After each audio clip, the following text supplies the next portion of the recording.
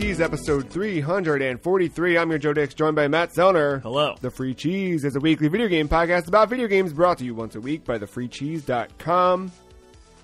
I read a shirt the other day that was in French, and my French is terrible, and I translated it, and I thought it said the juice that divides our darkness, but it turns out it says when night turns into when day turns into night. Just kind of close. You know what I mean? Contextually speaking. Yeah, same thing. But they're like jouit or whatever the fuck. I thought that was juice. How do you say juice in French? Juice. Nice.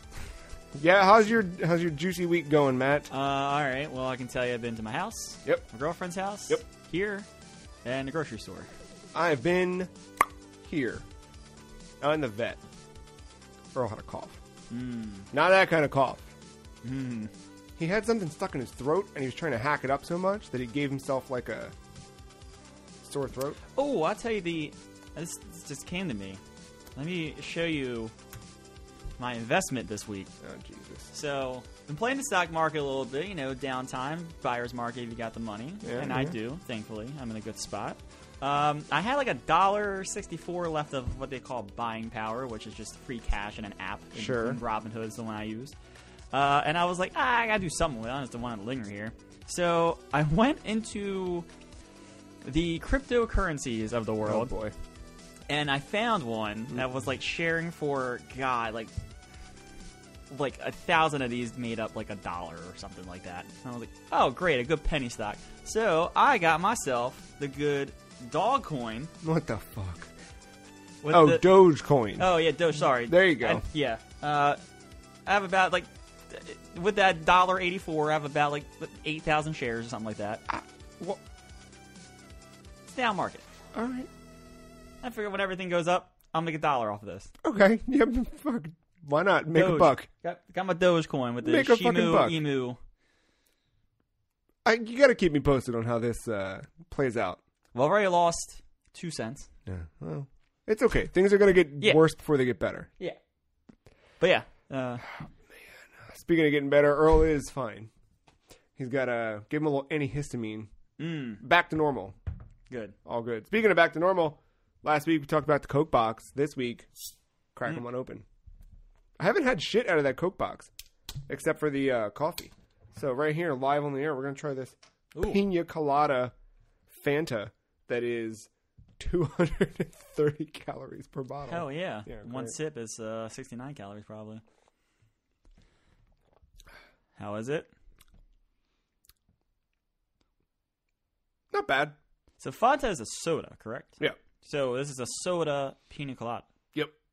How's It's that? caffeine free. This is this is. I, I don't hate it.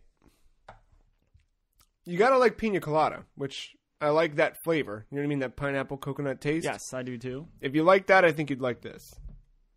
Hmm. It's got 100% natural flavors, Matt, Oh, good for Coke. Uh, including carbonated water and high fructose corn syrup. That's a Got natural 'em. flavor. Got him. Speaking of natural flavors, Kinda. a little bit. Yeah. We've got some video games we played in the last week. I'm sure. I'm not sure. I know because we talked ahead of time, and now we're going to talk to you about what we've been playing. Uh, Doom Eternal. Let's do it. I've been playing the stock market. It's called Dogecoin. Just the what fucking website is ridiculous. Uh, Uh, we've been playing some Doom Eternal. You beat some Doom Eternal. I yes, this morning as of recording, I finished the campaign of Doom Eternal on Ultra Violence. All right, so I'm gonna. I've had a rough week with Doom Eternal.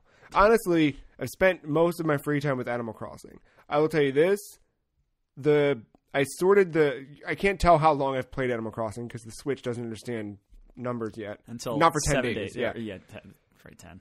but you can sort by playtime, and I can Hmm. see that this has now surpassed my time with Mario Odyssey, which I know is like thirty-ish hours, uh, and it's creeping up on Ring Fit, which I just crossed the forty-hour mark on in the last week or so. Interesting. So I'm almost to forty hours in Animal Crossing, and it's barely been out a week. I'd be curious to see where my playtime's at once we get there. I bet it's probably further along than you think. I do have this the parental controls app, so I can kind of see like Mm, yeah, that's right. day by don't day. And I did rough math in my head, and I'm definitely in the mid 30s with it. But, um, but I found myself going to Animal Crossing more because Doom was really pissing me off earlier in the week. Just to be blunt about it, like I spent the early part of the game just super overwhelmed and feeling like super weak along the way. And we took the dogs for a walk like early part of the week, like Monday or Tuesday or something.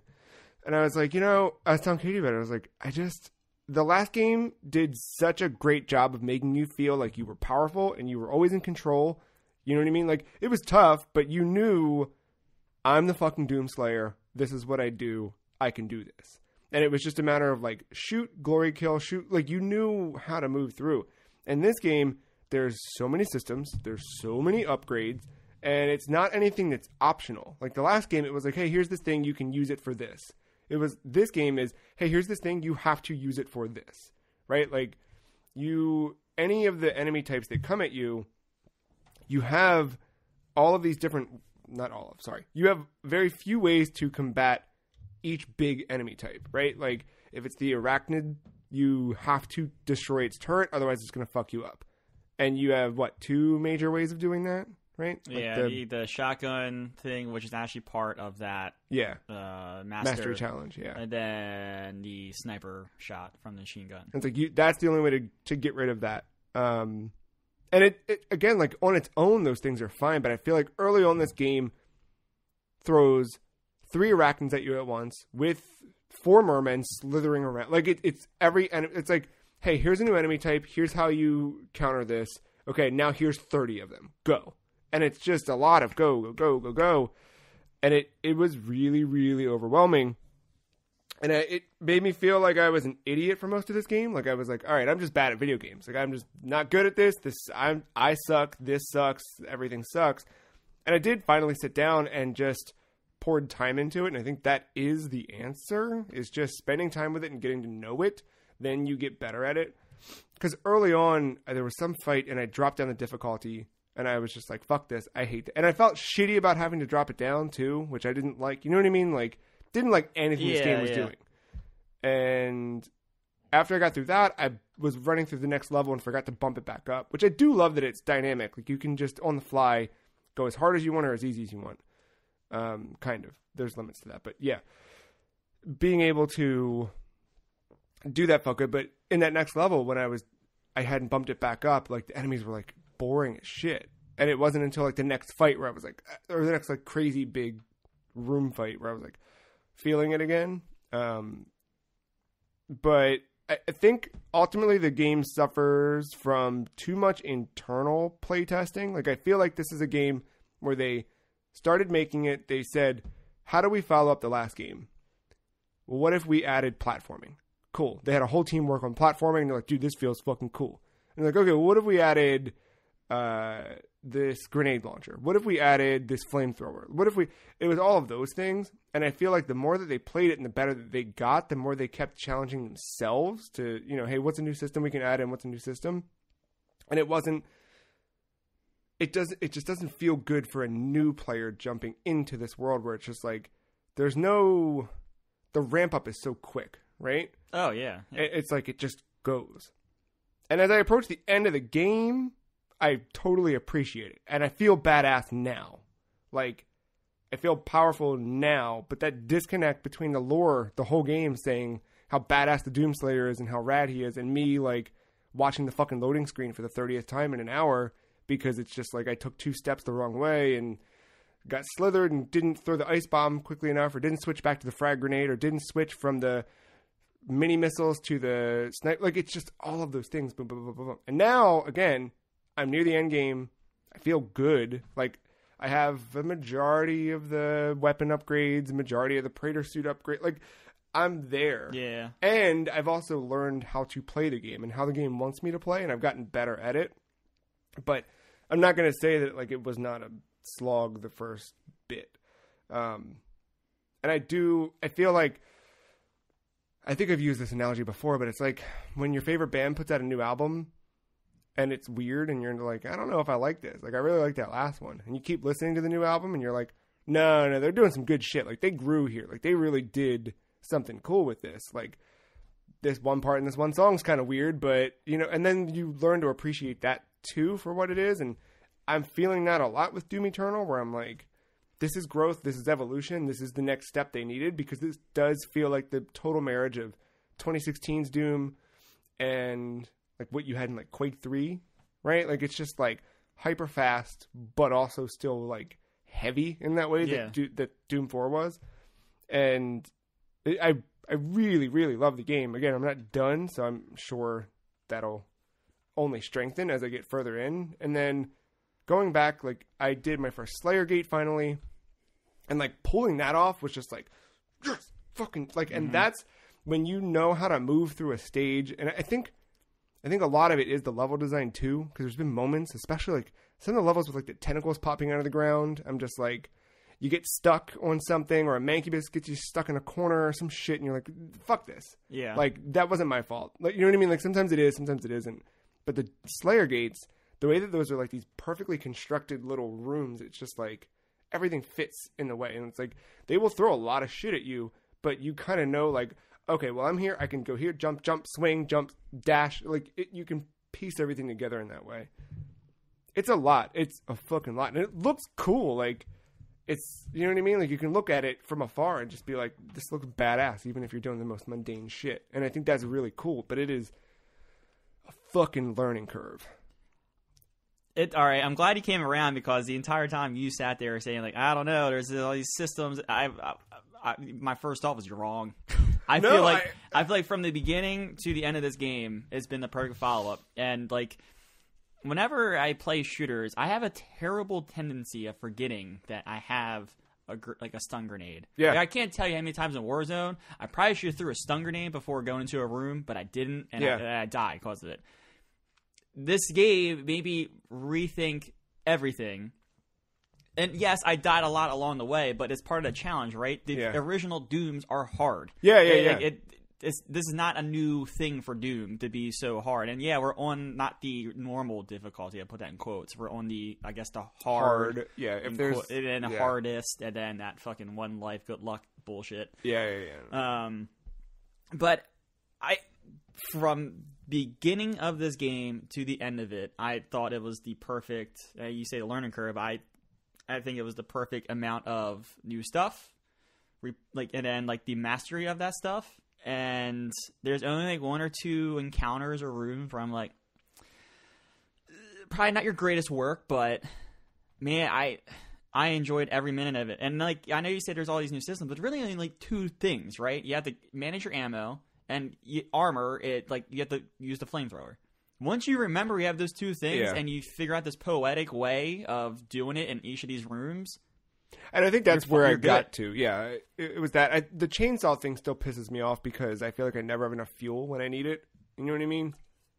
But then I'm like, But I like that's where the game's forcing you to use all your weaponry. I think, and I think that's where they want it. You no, that's at the point where I've like exhausted the weaponry, and then I'm like, there's the only thing left in the room. I don't have enough chainsaw fuel for. But then I've gotten better at learning. Okay, well, there's an imp over there. I need to. I'm saying there's always an imp. Yeah, It's just a matter of where. Yeah. And I know some of those some of those encounter rooms do go like three floors or whatever, and it gets kind of tough to find it. But there always is something Yeah. you can chainsaw. it's it's definitely like again by the end of it. Now I'm like, okay, I get it. You know I literally, mean? I mean, I you just said I completed the game. I think twice I used more than one chainsaw fuel on a on a thing. I never chainsawed the heavies. Never. I never needed to. I did by accident once. I don't think I ever did. I think there was like one time, and this is like super late in the game. I realized I had three just because the the the drops in the encounters and stuff Yeah. like that. I had three, and I was uh, one of those green mancubus guys. was right in front Oh, of me. yeah, and yeah, I yeah. did not have my blood punch ready to go. Yeah. So I was like, "Fuck." And I was like, "Oh yeah, all right, here we go. We're back on That's track. cool, I got yeah. my health, or yeah, I got got ammo. Here we go. Start swinging on poles." But like the platform and stuff, yeah, it's a little tedious. It, I can see it being a little tedious. I enjoyed it. I also enjoy the way they use that to get to the secret rooms. I thought Yeah, those That- those that things was- are clever. really good. I messed up. Uh, me, I I think it's more my fault than the games, but I did not realize what the Sentinel batteries were for.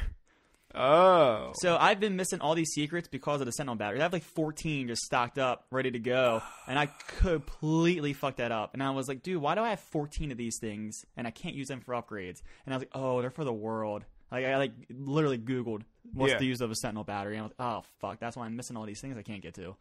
Wait, in the world? You mean in the fortress or? Oh yeah, whatever. You, you know okay. what I mean? Yeah. Yeah, yeah, yeah.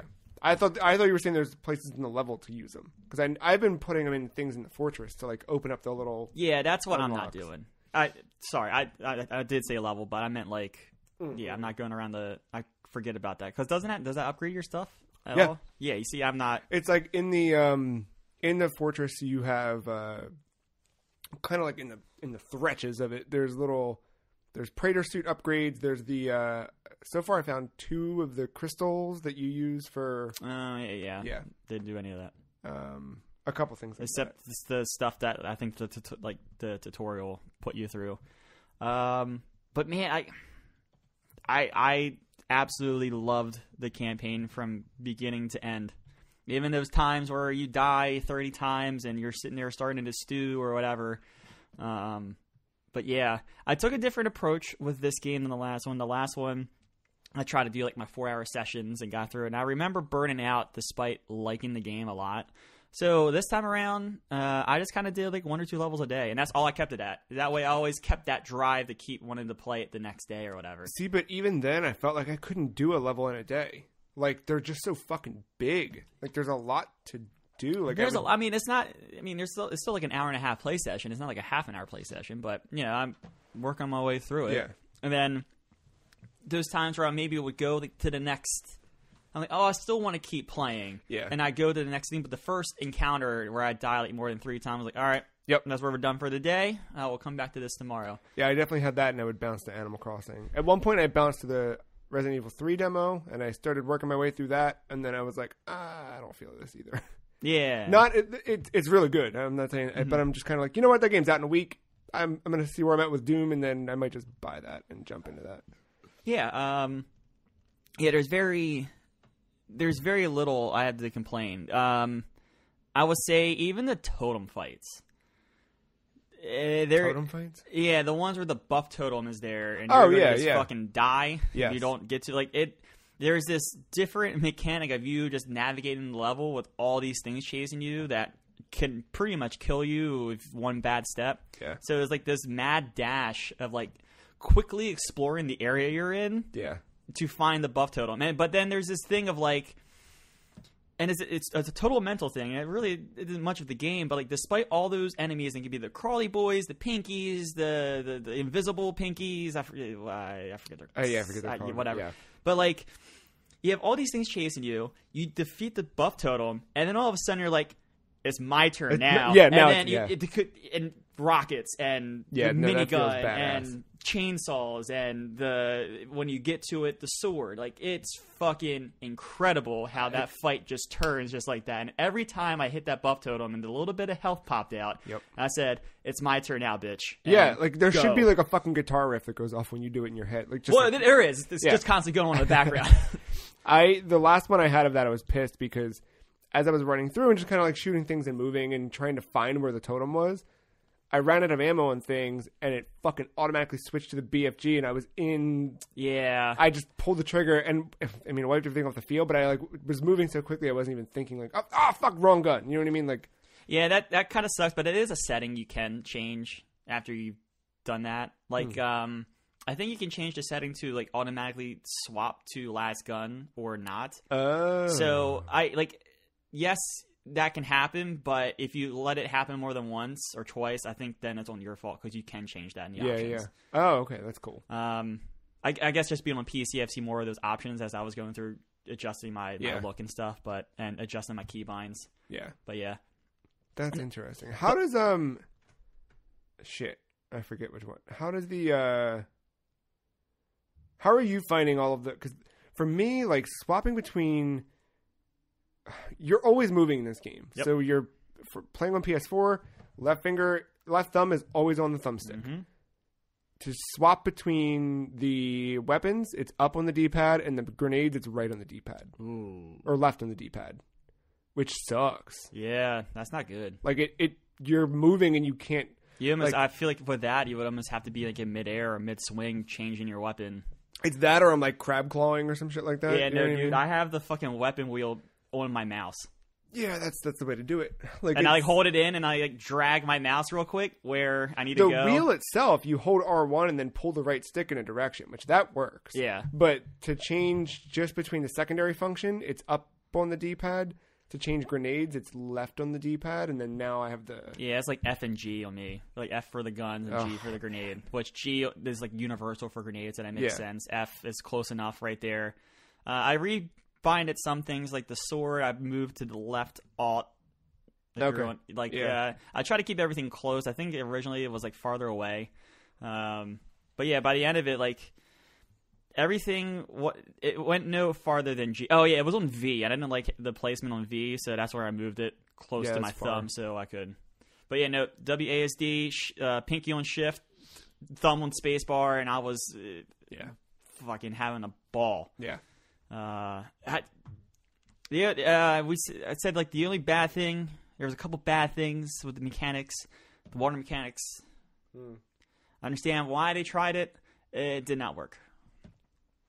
Uh, I died more times in the water than I did some of the intro boss, or uh, I keep saying boss, some of the intro encounters, yeah. which is not. I, I no, I'm the Doom, I'm the Doom Slayer, and I'm dying by drowning. Drown. Yeah, it's weird. I, like I don't like I more so not because I didn't know where to go, but more so because It just felt clunky. I it felt clunky and I could never find the ledge. Like I would do the thing Yeah. and have and do the thing and just have to hop back up and land, do the next thing, but I could never find a ledge. Like you wouldn't just climb and you can't jump out of the water. I, That's the only the only the bad part thing. I didn't love about the water stuff that I've encountered so far is like I know there are secrets down there that I'm missing, but I didn't have time to look for them because you're being poisoned as you're down there because it's Yeah. you know radiated water or whatever. But overall, this is still you know what I mean. It's it's and I almost had one complaint about the slow goo. uh, They yeah. did one. They did one encounter that was mostly sl- uh, that goo yeah, on the yeah, outside on the In road, city. Yeah, and I was like, if I see another one of these, I'm gonna get real mad because this sucks. That was it. That was the last encounter Yeah, the- in a yeah. slow goo, and I was like, all right, cool. They experimented with it. They made you do it. Now it's yeah, yeah. It hurts, please. yeah, yeah. But uh, I like that though because it was it was unique because it was all it just happened to be like all the charging dudes. It was no one at like shot at range. Yeah. At least not initially. Yeah. So it was. I, I think it was a clever little thing to like, hey, stay on these little bits of land. Yeah, it taught you how to use different weaponry and, and do different things with mobility in that that way. It was good. I, I really like the game. I'm excited. I'm going to wrap it up as soon as possible. Um, and I did try the multiplayer right before bed last night. Um, got my ass kicked because I was. It was my first time. I'm like level nine in their little Did rank up even do those system. tutorials? No, I just jumped in. All right. By the time I, lo- I looked at the clock and I was like, "Oh, it's fucking late. I should go to bed. Ah, I'll try this real quick." And let me just queue up. I'm level nine in the thing, and the two people I get loaded in as Doomslayer. The other two people playing as the monsters are levels like 66 and 83. And I'm like, ah, all right. And then they're like, in the lobby, you can hear them talking, and they're like, "What up, cheese?" And they're like talking to each other, and they're like going back and forth. Like, okay, dude, so I'm gonna run Mancubus this time, and if you, I'll run, you run Archvile, and then if we do this, like, they go through their whole strategy, and I'm like, I am fucked. and but it it's fun. You, I feel like the I'm dying slower in multiplayer than I would in the same type of encounter in uh, the single player campaign. Um, but it's still it's super fast. It's super. Um, it it feels like you're playing Doom. Yeah, you know what I mean? It, that that's the cool thing. Um, So I think I think one of the cool things you're going to see with that, especially if you're the Doomslayer, are patterns. Uh, because I re- like when I was playing through the campaign, I like once I got in the counter and I was in it for a couple times. Like I kind of knew my pattern. Yeah. Uh, like I would have maybe the I would maybe deviate from it a little bit, but the same kind of like circle. mm-hmm. And so like I wonder like as um like a demon like if you would if you start to see that and you just like preemptively just like Oh, they were because Yeah. because that that's where I I don't know the maps that well, but they did because as we were like loading in. They're like, oh, I fucking hate this map, and I'm like, I don't know And it. like- and then I would find a path where I'm like safe, and then it was there's always somebody waiting, just like fuck you. Yeah, I just like I think like uh, anticipation with something like this, for as quick as it is, like it's very twitchy. I think Yeah. throwing someone off it would go a long way. Yeah. Uh, but I'll keep messing with that a little bit. Uh, Doom Eternal. It's really good. I, I know I started off this by being a little bit critical of it, but it's just because it. I mean, it did. I think it's the per- I think it's the perfect sequel because it kept it keeps the formula, but it adds systems in a smart way. Like I I don't I don't know how else they could have done this. No, they, eh, you're totally right, and there. I don't. If they had done the first game again, it wouldn't have been. This wouldn't have been as good, and it's. It just sucks that it's taken me to almost the end of the game to really appreciate it, but I'm happy that I did. I don't know. Uh, yeah, I just like I, I may have said this on air before, maybe back in like 2017, but like I, I I did not want to be the person, the creative person that has to come up with a, a way to make a sequel, and and they did it. They- Yeah. I think almost flawlessly. Yeah, I, I don't want to be the creative person again to try to try to make a sequel to this and expand upon it. Can I? I'm gonna say something, not knowing anything about the story. I don't. You know what? No, because I don't even want to make eye contact with you while I say it, because I don't want you to give anything away because you beat it. All right. Yep. But don't say anything. I'm not going to look at you. I'm just going to get this on the recording and then we'll move forward and talk about something else. I'm very curious to see if they tie the lore of this into the lore of Quake in some way and string all of the id worlds together and something and if the next game is just going to be fucking Quake. That's it. No more Doom Eternal talking. Not looking at you yet until we get fully I, into that the is next all I'm going to say. That- I'm going to say this. I honestly have no clue. And I well, that answers the question. honestly I have no clue. Yeah, well, one, I've never played a Quake campaign, so strike one. Two, there is. You maybe should read codex entries. I And have been. No, no, no, I have been. All right, because there is something very specific about the final boss Hmm. that ties like kind of like your journey together that I would have never gotten through the cutscenes. And it's because I read one little codex entry. I was like, "Oh, oh, oh, that's cool." And then I was like, eh, the the fight meant a little bit more than just right. than just it being the fight, All right. which I was badass. yeah. But yeah, no, I honestly have no idea. It could be buried in codex entries, but I just didn't read all of them. I was kind of expecting a definitive like. boom, boom, boom, boom, boom. No, it did. did it, it, it did have that moment of like you know you jump into the portals and then like to Mm. go to the next world or whatever. There was a there was a part where uh like, I won't say which character, but there's a character Ah, all right, all right, all right, all right, all right. says finish his fight. All right, all right, all right, all right, all right. We got. Yep, you went too far. Halo. Episode three four three. Oh shit, is it really? Yeah, check that out. Uh, speaking of checking out, I believe you've still been checking out Call of Duty Warzone. Yes. Yes, yes, yes. All right. So, uh, they uh, there seemed to have been a, a meta established in this game. Yeah, it was the race to uh, get your crate. loadout. Yeah. Yeah. Um, they, uh, yeah, it was get your load out, and then it kind of turned into this thing of like your perks becoming a big part of this too. So, um, thermals and UAVs became a big part of. Uh, well, thermals on your attachments for your guns, so that way you can like see people through objects and stuff like that. Not through objects, but like easier to, to see them in hills and stuff like that.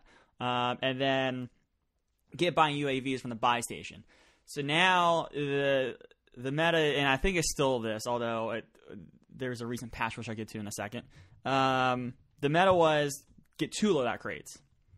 The one in perk slot two, there is a thing called overkill, which lets you wield two primary weapons. And a lot of people usually use some kind of sniper rifle or say something something long range and then something short range like an SMG or do like sniper rifle, assault rifle kind of loadout, whatever.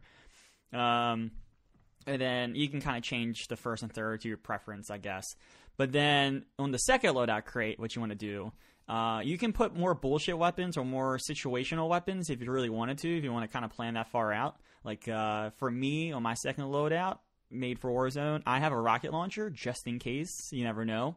Might see a vehicle right as I, at, you know, just those one-off scenario, like one in a million. But I have it In case you in case it. I need it. Yeah.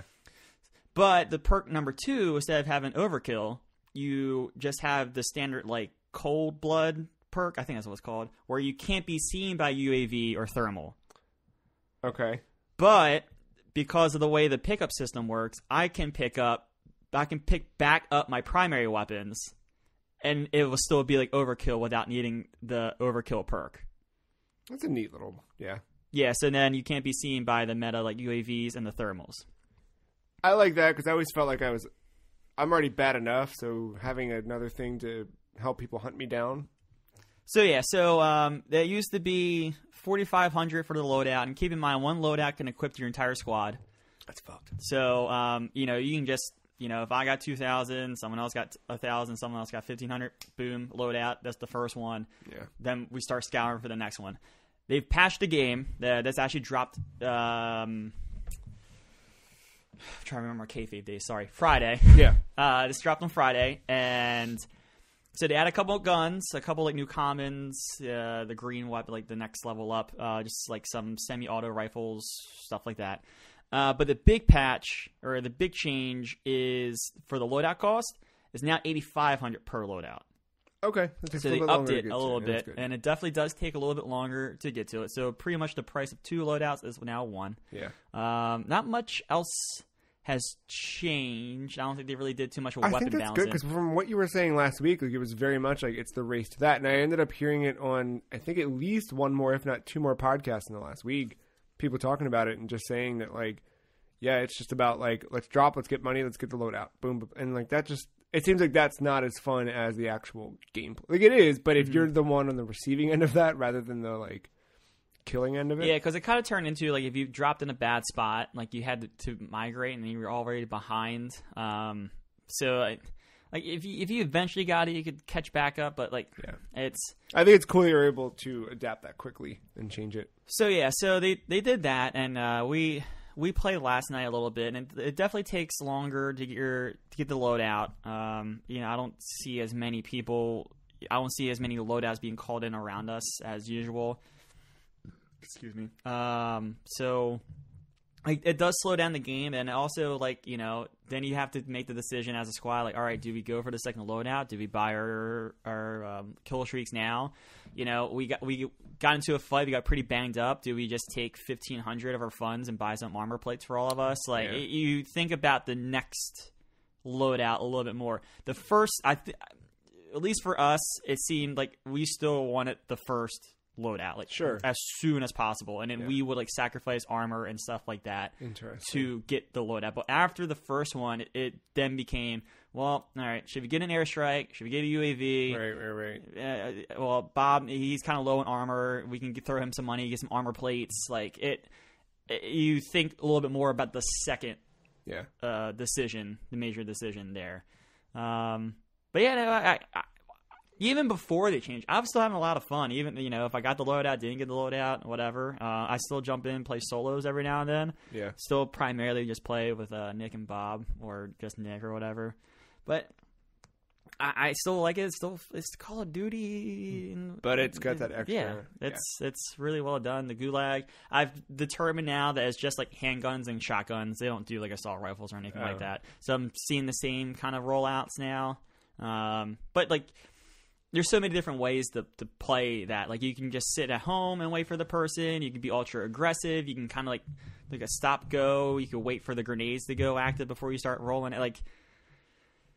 It's, it's like a little battle of chess in a, in a weird way. yeah. yeah. Like, it- if you can outthink your opponent, you usually win, even if your aim is not as precise as the other dude. What's It's- the tail on this? I, I love it. I think it's still the best one out there. I, I can see why people are like down on it because of that loadout thing, Yeah. but I think it I think it works in this game, especially now that it's 8500. It it there's a little bit more decision making uh in in the mid to late game on how you want to attack it. Do they need a new map yet?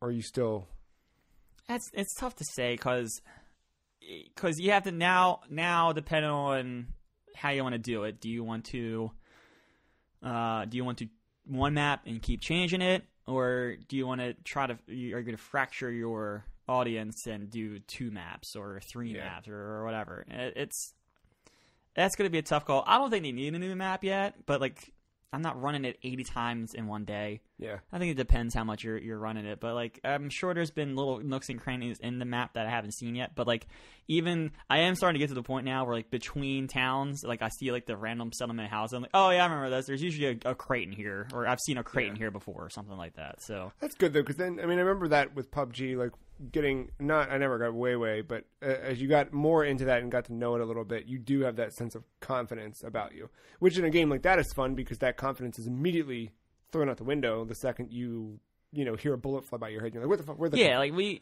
it's great because one game will finish fifth after like all these like close tense encounters. Like we'll each get like three or four kills, take out like four squads or whatever, and then we'll get fourth and feel pretty good about it, or you know whatever. And then we feel so good, we're like ah fuck it, we're gonna drop right into the hotspot, and then we just immediately all die or in the gulag and just scrambling after that. So it's fun. it's you know it's it's it's one of those. Uh, what else did you get into outside of Call of Duty Warzone? Animal Crossing. Yeah. I mean, I play more baseball, but I got nothing new to add. I've been playing Road to the Show. What's new in Animal Crossing for you? How do you? There's more of a game here than I thought there was. Uh, so what are you finding? Because I, I feel like this is the thing I could never articulate in a good way for you over the last four years. So like I always thought like once you start it and Tom Nook was like, "All right, here's your house, here's your rent, and then as you pay the rent, you can get a bigger house." Like that, I kind of understood, and you're always constantly paying the rent. yeah. Tom Nook's an asshole. We all know that. But I didn't realize there's these little objectives to do. Like if you're logging in every day for a couple hours, you get an accomplishment and kind of get to the point where you wait a day, or you can time travel. I'm not doing that. It's, Yeah, I no, no. But like you, there's like objectives every day. Yeah. I mean, it's not just the Nook miles, right? It's the Yeah. like I you know I had to create three settlements for people to move in, and I had to uh, get all the materials, the resources, and build all the stuff for the interior and the exterior. Yep. And I was like, I was actively like playing the game, like getting the things I needed. Yeah, I- there's a I'm- lot to do. I'm there. not like pl- like I probably have. I'm probably in the teenage hours of this game, if not more Yeah. but I'm not like customizing yet. I don't feel like I need to. I don't feel like I'm at that point. I don't even feel like I'm at that point where I can get a good island. I'm sure I could if I really, you know, kind of put my mind to it. I'm sure I have enough Yeah. recipes, Yeah, probably. but like, I don't want to do that yet because Yeah. I have these objectives in front of me. Like every time I think I get, every time I think I'm done, there's Tom Nook's like, all right, well, Mr. Slave Labor, you go Yeah. do this now. Like I built the bridge and I got the, the houses and uh, I, I, my residents are slowly moving in. I don't know what my next big objective is. I just got the customization kit for him. I took that workshop, built the wardrobe. So like, I don't know. I, f- I forget what's next for me here, but I was at a point where I could stop. But like, For me, once I did the customization workshop and all three people moved in, he said, Hey, everything's going so great. I got to shut down for a day so we can turn this tent into a permanent building. hmm. And that's where I'm at now. So I don't know what his next goals are. yeah, as of recording, like my second resident should be moving in today. Yeah. But by the time this goes up, I should be probably maybe where you're at, depending Yeah. on how the game shakes out for me. Yeah. Um I uh so last weekend, obviously I put a bunch of time into it. Oh, even by the time we recorded the podcast, I already had, you know, I think 12 hours or so into it. I don't remember. Yeah, nuts. And then I think Saturday night I was playing and Katie came down and was just hanging out and watching me fish and fucking hit trees and shit. Like whatever, just Yeah. passive. And she was, and we both realized it had been like an hour and a half, two hours. And she's like, "How the fuck am I just staring at you do this for that?" Like she wasn't on her phone. She was just literally staring at the screen, and I'm just sitting there and like I don't think we were talking much. Like we were just kind of like whatever. And I was like, I can make you a character. You can run around on the island with me and catch fish. And she was like, Yeah, man, whatever. So Sunday, she was like, Hey, make me a character. I was like, All right. So I add an account to my Switch, get her a character on the island. We're running around and um, catching bugs, catching fish, getting her house or her tent set up or whatever. Um, and then she was like, "Oh shit!" So then, like, she would, she kind of mostly had control. Like, I gave her like the primary. When you're playing on a local Switch, like someone's the primary and the other was Yeah. like the follower. So I, was the follower for most of that, and just kind of let her do her thing and explore the island and do everything I had just done the day before.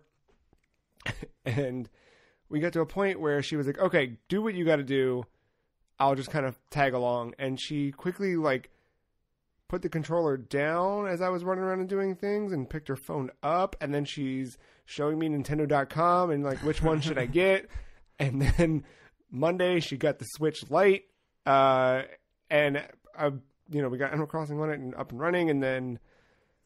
I think she's basically where I'm at now. Like she's pretty close. Like it's she's been playing it almost as much as I. Like the only time I'm taking a break for it is Doom, and she doesn't have Doom to play, so she's really just like Yeah, seriously. locked in on that. Um, and that's been fun because it's been like her and I running back and forth to each other's islands and trading things, or like she really liked one of the tasks I had for the you know moving villagers into the town was to build one of them a peach chair, and she was like, "I want that fucking peach chair," so I made her a peach chair, that kind of stuff. Um, but yeah, I mean, overall, like I feel like the early stages of New Leaf were the last game on 3DS were so like do this and you, you, you kind of can't do anything else today sorry. And i feel like here even if i'm just catching fish there's still something to do.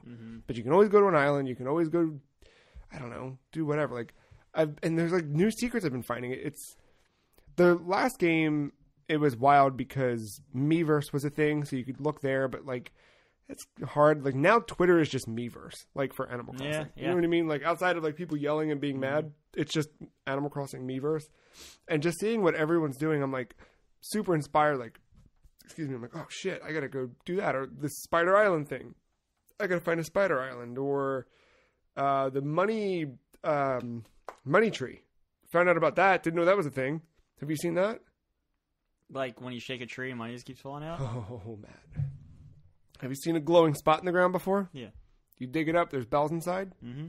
if you have at least 10,000 bells on you You- Oh, plant 10,000 bells in the glowing spot right while you're that standing makes there. sense. Why it's still glowing then? And yeah. in three days, it becomes a money tree filled with money. It's only a one time money tree from what I see, but Hmm. there's usually a glowing spot each day. So each day you can, What's the return on investment? don't know. See, that's the thing. Ten thousand bells is a lot of bells. I'm only getting eleven thousand back. No, it might be 30, dude. There's, I, Alright. when I, I saw mean, if there's a return on investment, I'm going to do it. there's three bags. I think mine should be ready, so we can check. All right. and, and find out. Um, The the Dogecoin's doing nothing for me, but if I got the but if you can get the bells. uh, but no, I've had a lot of fun, like making custom designs. I've been making different sprite work and stuff like that to hang on the wall. Um, I've been doing custom furniture now, like made a new bedspread. I found out you can buy a magazine, you can customize inside the magazine, so that's been a lot of fun. Uh, oh, last week when we recorded, we hadn't visited islands yet, but prior to Katie buying a Switch and really knowing, now she gets it. So, me and Mark decided to meet up, and then our friend Joe, who's been on the podcast before, Joe saw that we were on as well, and he or maybe Mark invited. I can't remember. but Either way, Joe jumped in as well, um, and we're all doing voice chat and hanging out and having a great time. And Joe had his voice chat set up uh, through the magnificent Nintendo voice chat app Great. uh, with his boyfriend as well. So like we're all kind of talking, just having a good time, whatever. And then we're letting you know, hey, come hang out. And I think you needed nuggets, I need nuggets. the, the yeah, I need iron for the store for Nook's Cranny. So on audio, I said to all them, like, all right, I'm opening my gate. I got a bunch of shit waiting for Blathers to wait to open up. Don't touch my shit. Eh, But come on over. I say that to them. I text you and say gates open. You come over, and I'm down here on the fucking headset with them. Katie's upstairs, and you come in, go right for the fossils, and just start picking up fossils. And I'm screaming. I knew I knew you were purposely waiting for Blathers. I, I, I just wanted to fucking scare you, piss you off. I was screaming, "What the fuck? What the fuck is he doing?" And Katie's like, "What's wrong? What's wrong?" Like she thought something happened to one of the dogs or something. And I was like, "This motherfucker!" She's like, "What's wrong?" And I was like, "He's stealing all the fucking. F- I got him in a pile for blathers." Just so mad. Um. Oh shit! Hmm, what happened there? Uh, I got a jar of shit that I Oh, kicked. yeah. It's all the leftover yen I have from Japan, Oh. and a yeah. I, um. No, I, I knew exactly what I was doing. I, it wasn't like an accidental pickup. No, I was like, oh, he's saving this shit for Blathers. I'm gonna fucking scare him. Bloop, bloop. Well, then we That's had- why I ran around the corner hiding. I didn't even see. Oh yeah. Also, I love the outfit too. Just like wife beater and jeans. Um, I've got a good screenshot on my Switch of you when you were leaving and you waved goodbye, and I caught the screenshot right as the circle's closing in on your head. Looked pretty good. Yeah, there's. I have a long term goal of doing something special because I have an island on my island. Yeah. And I, the the point is islands to be a sanctuary. There's going to be no bridges, nothing. You're it's only accessible by the fucking The pole. stick, yeah. yeah. Uh, but in the meantime, I've been doing little stupid things like whenever I get a pair of pants, don't put them on, just hang them on the wall. so I only now have- you're playing Animal I, I only have two pairs of pants right now. The ones you sent me, the camo ones. You're welcome. And a pair of jeans. Yeah. But whenever I get a pair of pants, just run run on the wall. Fucking love that. And that too, like And then Victoria comes over. She's like, "What? Why don't you have pants on?" I'm like, "They're dry. the wall. Yeah, they're- sweat. You Yep. know, Yeah. it's been a hard day's work hitting the rocks all day." there's a lot more you can hang on the walls in this, which sounds like a weird thing, but like there's those little things for customization. Like before, you couldn't just put furniture outside mm-hmm. the way you can now, and that's that's a neat thing. One of my villagers gave me this like cool looking stone lion dog statue, so I have that like next to my house. And then I bought a chalkboard menu and put that outside of my house too. Like it's a fucking dumb restaurant. I know, I know, I care about this game because I didn't just dump those exterior items on the ground. I like specifically Yeah. put them Yeah. and twisted them to the way aligned, I yep. wanted them. Yep. And like I put like the one chair looking out towards the pond. Yep. I put the one chair and the table like facing you, so that way like you could see like the person eating or sitting down or whatever. I was Fucking like like the swinging. Like at first I just threw it down. And it was like awkward off to the side. I was like no no no. And so I had to move this. Pick it up, I position myself perfectly, and do a little adjustment. So then after I did that, I was like, I kind of care about my I'm in island. it, yeah, a little bit. There is a sense of pride in it, and like putting together. I don't know, like I, I fucking, I'm starting to get happy with the way my house looks. Like not totally.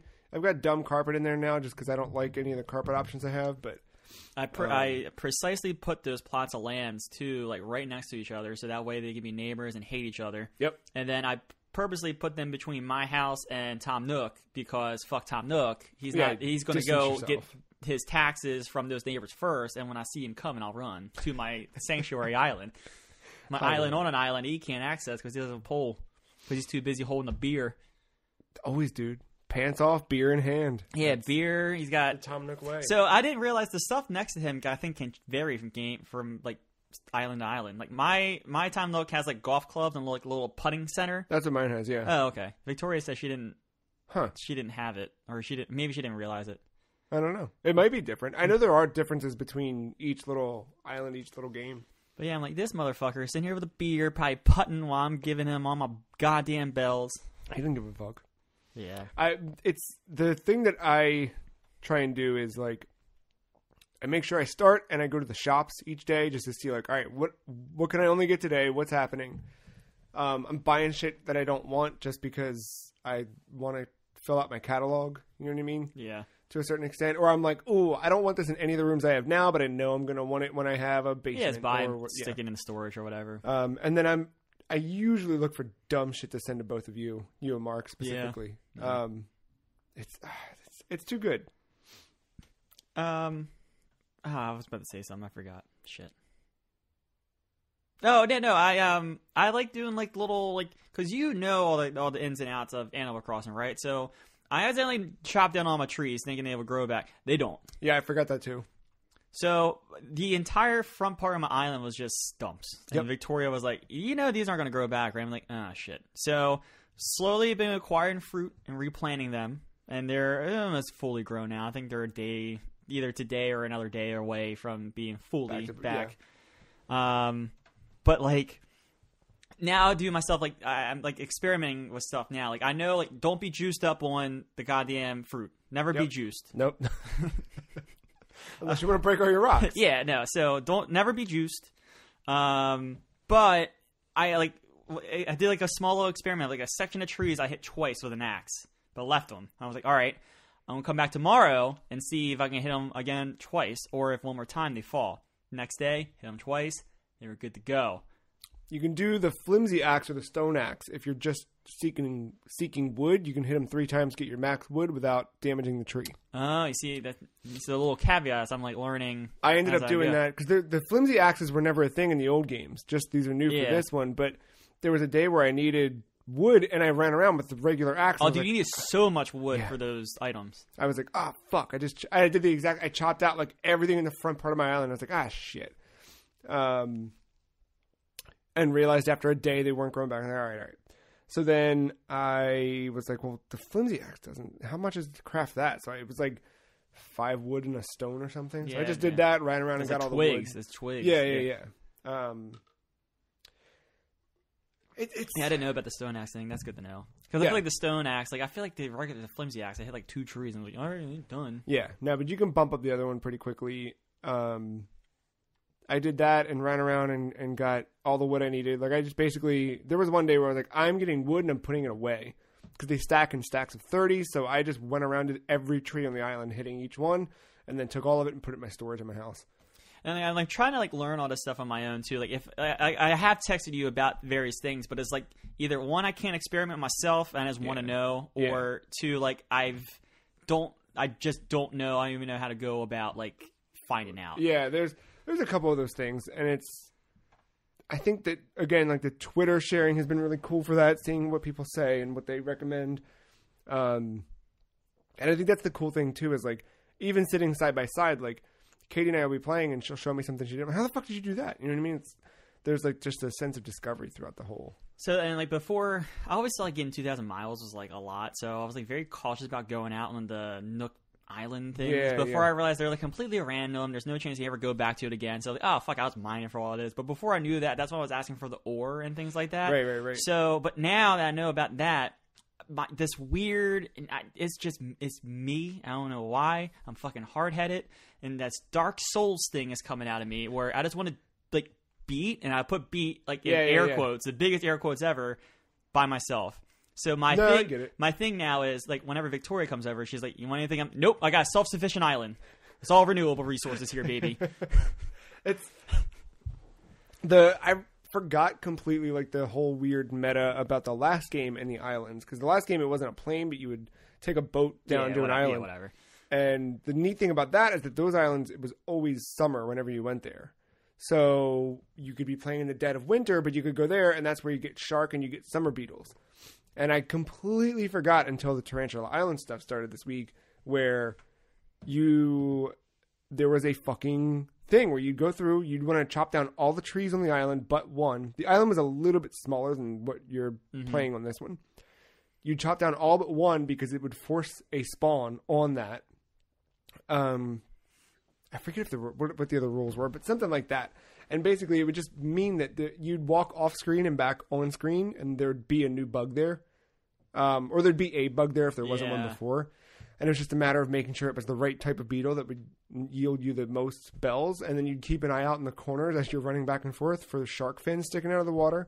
You'd spend the night just running back and forth there, and you could make like a good couple hundred grand, like easily. You figure if you could hold like I think like twenty five items or something or thirty, you get thirty fucking beetles that are worth ten grand. Like Yeah, like I, I, you know, I finally got the ladder, so I'm like uh, finally exploring like all the parts of the of my island and stuff. And then like I'm looking at the Critterpedia, I'm like, what? Why? How the fuck am I going to get like all 80 of these things when I got like 12? in a year, And then like I last night I'm like on IGN just like browsing through news or whatever, and I, there was a guide, one of their stupid fucking guides yeah. yeah. that have no business being on their timeline, but what, whatever. That's another. Click on it. Did you click on it? Yeah, no, I didn't. I just saw the headline and moved on. Oh, But the headline was the bugs and Oh, fish that were leaving in March, and I'm like, duh, this game is season. That's why, and it's going to apply to everything. And then yeah, so why it's in the timeline, Matt. didn't fucking click on it though. Didn't fucking click on it. Moved on. But it gave you the information you needed. Yeah, exactly. Headline reading. Uh, well, I'm super happy that you're enjoying it. yeah, Um, no, I I am honestly shocked. I knew that you could, and I hoped that you would, but I'm surprised that you're enjoying it that much. Because it's that. It's no, like I make a- it I make it a point to log in for at least at least log in, get my bonus miles. I'm pissed about that because since Nooks was closed yesterday because it was remodeling, I Oh. think it's gonna reset my Oh, I want. Uh, I'm gonna good, check. Good I'll find- coding would. Yeah, We'll find out. someone someone that was smart in the coding as- aspect of it should realize that. We'll see. I did play some more Switch stuff this week. Mm-hmm. So last couple weeks uh, before Animal Crossing hit, I would do that thing where I'd kind of like look through my whole library of Switch games and be like, "Hey, what am I playing?" And I kept seeing one that I was like, "I should go back to that at some point." And then you do the mental game where you kind of like play through it in your head, and you're like, "Yeah, I know what it is. It's no big deal." And then there was a Nintendo Direct this week that announced a new Arms character was coming to Switch or to Ah. Smash. And I was like, "Let me jump back. Let me just do a little Mm, yes, bit." yes, yes, yes. Because I really had. I'd been like, that makes sense. That's how you knew it was. Yeah, all right. it's- Everything makes sense now. I I was like kind of again like I was like I'm itching to play Arms again. I hope there's a seat. You know what I mean? I was like thinking all those things the last couple of weeks, and then they announced there was going to be a new Party Crash, which is kind of like their Splatfest kind of thing. Um, and I was like, that's weird. There hasn't been one in such a like okay. And then they announced a free trial for like this week into next. If no one's played it, you just download the whole game and play it for free. And I was like, oh, weird. Buzz around arms again. I was like, I wonder if they're ramping up to announce a sequel or announce something. Or who knows, whatever. Uh, of course, now we know it's the, the character. But I played, so I haven't played probably, like, seriously. You know what I mean? Like, I've maybe turned it on and tried it here or there. But actually played arms in, probably since the launch summer, maybe. So, like, three years.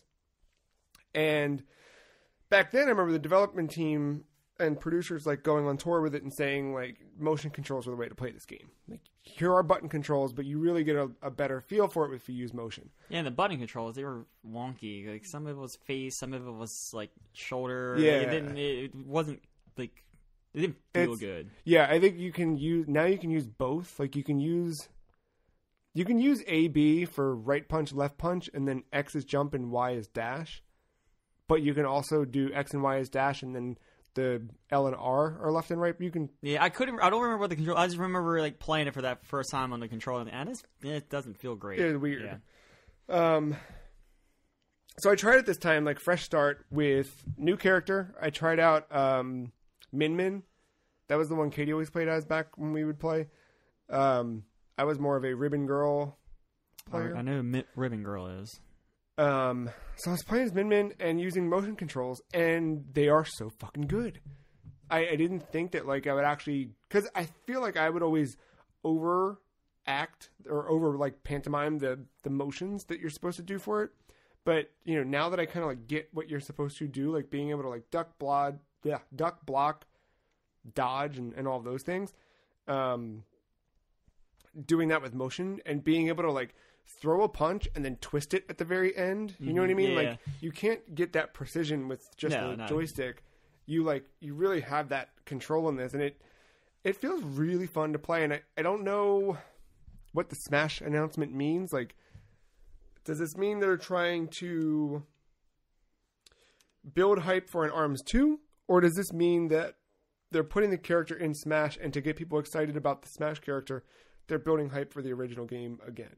Look, I don't know what's the chicken, what's the egg. here. 50 50. I mean, well, I think we'll talk more about this come to when we talk about the direct, but I think Yeah. it's a little 50 50. Yeah, I don't know. But either way, I'm having fun with it right now, and it's free to play for at least a week. So if you want to try it, I'm sorry, I, I was laughing when you were saying that. Uh, I'm on armswiki.org to look at the, the characters, and when I click the Min Min, if you go down the right, uh, under- underneath basic information, there is official stats. And one of the official stats is arm girth. oh wow, did not know that. That's uh, okay, It's, uh, I don't know, what's love of ramen? huh? Love of ramen? Is that a thing? Ramen a thing? I mean, Maybe. yeah, Uh, her. So Min Min's arms are made out of noodles. Let me see And- all of them have it. Her stage is in a giant ramen bowl. Hmm. Hold on, hold on. Now I gotta experiment. Sorry. Diving deep in the arms wiki. Yeah, that's real weird. Here we go. Arms Institute. Arms armswiki.org. Yeah, there's whole- like a whole like comic book. Like there's a deep lore to this I'm game. not shocked. Nothing shocks me anymore. Oh, that's right. I was always the Jelly Man. Helix. Yeah, that's right. Helix, yeah, I was, yeah. I was trying to remember who I always was. All right, here we go. Who's Lola Pop?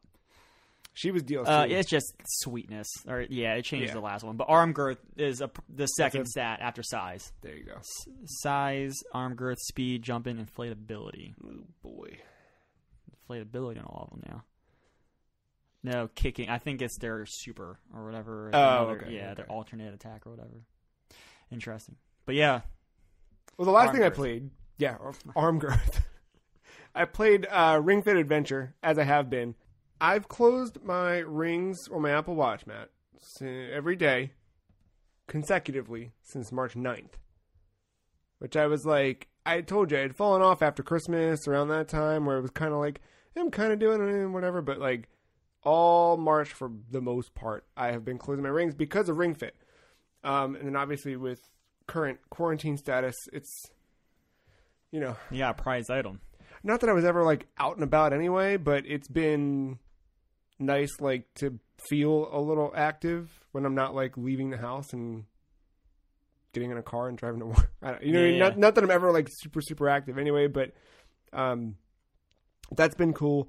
And thankfully, this week is also part of the Nintendo Direct that we'll talk about later on in the news. But there was a new update to Ring Fit Adventure, and one that I've been fucking asking for forever, and mentally in my head and to no one else. But uh, a big one that's cool. It, there's the new edition of jogging, which you can now choose a stage, or in the custom uh, game modes, you can kind of choose like four stages or whatever, or however many you want, and then just string them together one after the other.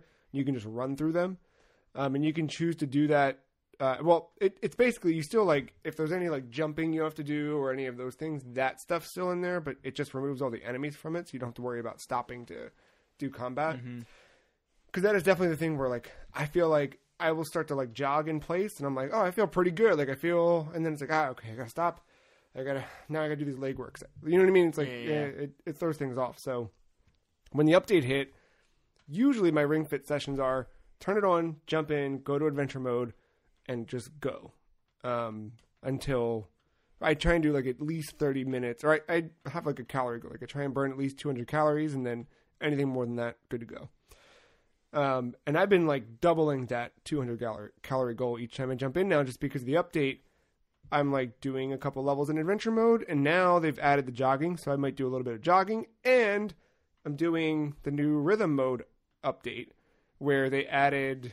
It's so dumb, but I saw a gameplay of it. Yeah, Yeah, I, I- saw your your tweet as well. Yeah, it's like so the tweet I put out was the like advanced. It's mm-hmm. when you start out you have like easy, medium and hard basically. As soon as you beat advanced, you get super advanced. And when you beat super advanced, you get ultra advanced. So I haven't you need to get like a A rank or higher. I can't get A rank on super advanced. Not because of me though. That's the one thing I got to try it with a different Joy-Con, but one of my Joy-Con that I've been using and uh. it's the newer one, the orange one. It like when you're tilting because basically sorry the rhythm mode in ring fit you have the ring in your hand there's rings on the screen flying at you like a rhythm game does Like a fretboard. yeah and yeah think think maybe like a prep and you have to it's either middle left or right and it's either stand still and just kind of hit the ring or squeeze or pull or squeeze and hold or pull and hold you know those types of things um, but there have been times where i'm like moving and it's not registering the move and I've had that a couple times with any of the like twisting um like exercises, like that kind of spin move. It sometimes like doesn't pick up on the fact that I've swung away. You know what I mean? And it's just because I think there's like a weird like it's that remember that like Yeah. Bluetooth weirdness that happened, but it's the newer Joy-Cons. I don't know why that one's I don't know. But um that one's fun. They added uh what Mario Odyssey songs, Breath of the Wild, a tune from there. Splatoon. Splatoon 2 medley. They did like two songs in one. A Wii Fit medley, which did that one. That was nice little pour one out for the homies. You know what I mean? Um, When are you going to get the Wii Shop medley in there? oh my god! If they put that, I do. I hope that they end up adding like a fuck ton more songs to it. I, I would love if Ring Fit could be a platform. Um, I think I mentioned it I think they're already turning into one. Yeah, for sure. I, I think that the uh, I said it around Game of the Year time, I think, but if they did like paid DLC for this for like more adventure, but I think this also like there's like a new game plus where once you beat the main story, you just keep going, supposedly. So I don't know. They also added the option to change your ring's gender and voice uh, language, voice gender and voice language. So I made mine uh, Japanese lady, which is fun because I have no idea what she's saying. But I hated the the little ring, the default voice. He just like it's like a whiny little pissant kind of whatever. Like it's been the one thing that's like embarrassing about playing this is like I if he's like cheering you on or something and someone's upset, not someone but Katie, you know what I mean? Just like, yep, got it. All right, cool. It just sucks. But now it's just like I don't know what she's saying. It sounds like I'm walking through Tokyo again, so this is fun. um, Or jogging in this case. the jo- yeah, I mean that that's the cool thing. And now it's like I'm learning a little Japanese though, because I already I've got his dumb voice and brain and ingrained in my brain so much from like doing the spins where he'd be like left, right, left, right, left, right, and now I'm like slowly learning how to say that stuff in Japanese. Ring Fit Adventure, if you can find it, I highly recommend it. Yeah, Um, if but I, think it's the I big know thing is- right now. yeah, I know it is very sold out. Um, I think that's everything I played outside of dicking around, you know, here and there with other things. But um, I didn't spend a ton of time, but I did try out the Switch Lite a little bit. Now that there's one in the house, Hmm. just to see. So I jumped into the uh, Switch, the NES, and I just fired up Mario One. Just like, what does it feel like with this D-pad? What does it feel like on this thing? Man, Switch Lite's got good squishy buttons on the Yeah, it feels real good. it feels like a, a new Vita.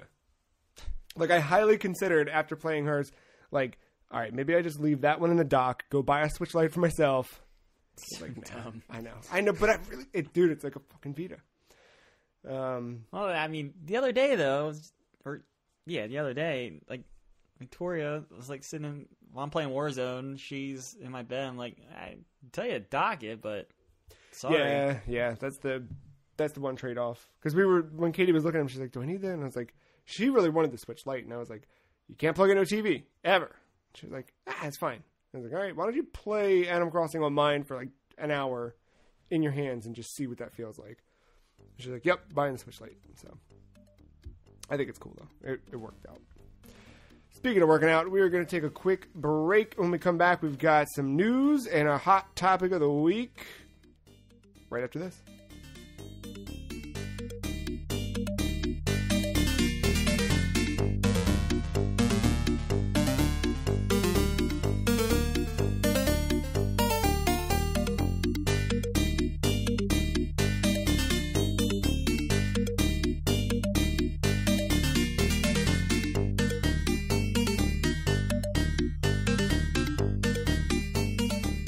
Welcome back to the part where we talk about the news. We got some items outside of the Nintendo Direct to talk about, and then, of course, the Nintendo Direct. Uh, number one, Matt, Dark Horse Comics announced a new God of War comic miniseries called God of War Fallen God on sale June 24th, 2020, at your local comic shop or available digitally. Uh, and this is going to bridge the gap between God of War 3 and the 2018 God of War. Will you read it? It's a No. four part miniseries. No, I'll just get the recap. Do you think that this is going to lead into a new game announcement? I, I mean, it has to. I mean, there's there's going to be a sequel to that game. Sure, sure, sure. I mean, one, the end of that game sets up for it. Two, it was financially and uh, critically successful. There's just there's just no way. And Cory Barlog on on Twitter uh, has dropped numerous hints and subtleties suggesting that there's going to be a new God of War game. Right. Uh, I I don't know if this leads up to an announcement, but I mean, it just it just goes to show that uh, God of War has so much kind of power behind it that it'll branch into other mediums. I feel like there were God of War comics. Probably I There were. shocked. There definitely were. They were. um Fuck, who was that? Public IDW published them. I, th- or, I don't remember. I Yeah, I'm not the. shocked. I mean, they had the uh, the PSP games that filled in some lore. I'm sure there's other little things they can fill in. I think it's cool that they're bridging the gap between three and four because that's like you play three, you end three, but beating the shit out of Zeus, and then all of a sudden you're married in four, you're like or what? Or were married, I should say, uh, with a kid. Wildstorm. Ah, okay. That's, I knew I could feel the feeling of the the cover. They did these. They printed it on really weird. uh I don't know. IDW used to use that paper, and Wildstorm did also. Yeah, so ah, that's cool. Yeah, not bad. Um, number two, Epic Games has signed a publishing deal with Remedy, Playdead, and Gen Design, offering developers 100% of their intellectual property ownership, full creative control over the project, 100% of dev costs, including testing, patches, etc., um, all being funded by Epic, and 50 50 profit sharing once costs have been recouped. Uh, Remedy, of course, behind the recent Control, Playdead, you know from Limbo and Inside, and Gen Design is the studio headed by Fumi- Fumito Ueda, behind Shadow of the Colossus, The Last Guardian. This is pretty big. Yeah, It's a big move. It's it's definitely. Uh, Tim Sweeney said that this is the deal that they always wish they had when they had been working with publishers in the past. So being able to do it is a, a big big deal for Epic.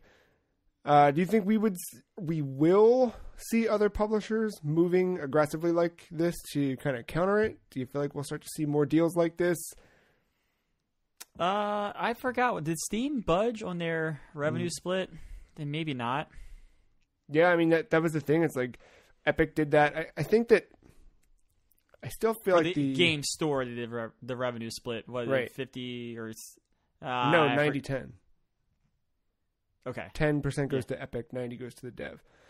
Um, do you think there's any studios out there who, I mean, obviously any studio would benefit from a deal like this, but do you think there's a studio in specific that like maybe needs this or Ooh, needs. Ooh, who? Man, Ooh, who put something mediocre out? Well. I, I think of even something like Platinum, where Platinum was in a position where they made, um, what Bayonetta, they made Vanquish, they made all these things that aren't theirs, right? Like even Yeah. Astral Chain they made with Nintendo. It's only on Nintendo platforms because Nintendo published it, but eh, you know what I mean? Like Nintendo, it's their IP now, not Platinum's. And we're seeing that change where Platinum gets itself into a space where it's self-publishing, but something like this could have helped a company like them. Um, I wouldn't be shocked. Was it Quantic Dream, David Cage's? I wouldn't because they've have a relationship with Epic Games, but Yeah. putting their games on PC out there on their on their store platform. So I wouldn't be shocked if that's like the next developer you see to go there. Can't think of a team that like is in a good position to to need this. Well, uh, maybe not a good position, but I, I don't know. I can't think of an independent developer right now. Not the top of my head.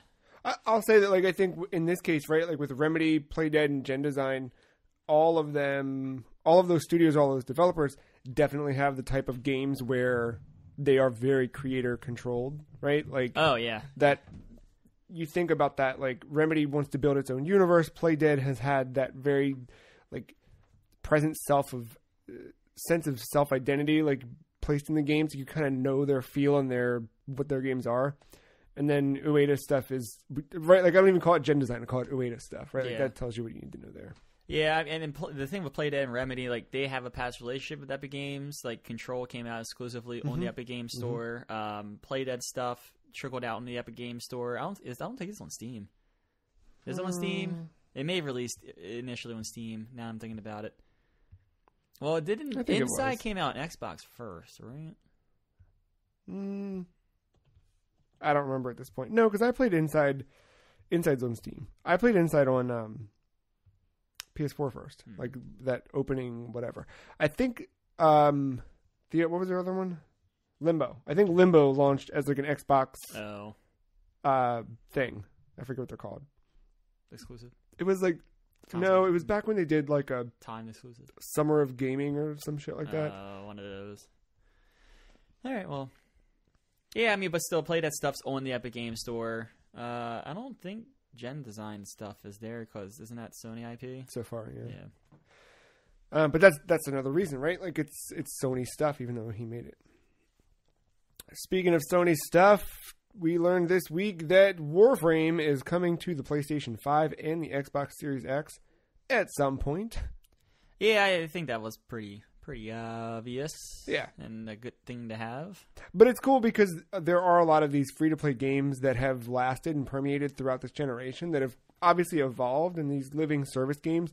And it has been, sorry, not to be confused with Sega, um, but these service games that we look at as they started here. How are they going to grow? How are they going to benefit from the next gen? I look at something like DC Universe Online that started as like a mid-gen PS3 game that is still, you know, just released on Switch last year. Um, but that one's looking pretty rough. So, are they going to bring it to PS5? Are they going to do a sequel on PS5 instead, or what does that look like? It sounds like Warframe. They are working on it. I saw uh, they do pretty regular dev streams and community streams, and they showed off the game running on DirectX 12, and it looked pretty rough. like they're, but they're really transparent about it, which is cool. Um, speaking of transparency, Sony has stated that the current situation may cut into profit overall, but the PlayStation 5 release date should not be impacted. How do you feel about that one? Uh, I think it's you know anything can can happen. I mean, we've seen Sony delay projects and stuff like that before, but I think it's good that someone kind of came. Well, there was rumors, right? The GameStop CEO kind of started that that um that banter about you know he's seen nothing that these consoles are going to get delayed, and then to actually have a spokesperson from Sony not just do the well we don't com- we don't speculate on a rumor blah blah blah blah blah. They actually came out and said uh, this isn't impacting anything so far. So. I I think the good thing is, uh, you know, and the scenario can change, and this is all changing day to day, obviously. But like China, for the most part, seems to be kind of up and running. Yeah, So a lot of the, I'm sure the a lot of the manufacturing plants are coming from China, um, if not all of them, probably. So um, that that's that's going to be good. Uh, I know there's some analysts out there that are saying that scarcity might be an issue or whatever, but like, isn't that what we always say at this time? And yeah. I remember three years ago with the Switch, you panicking because you didn't, Didn't order on Amazon yeah. the first day or whatever.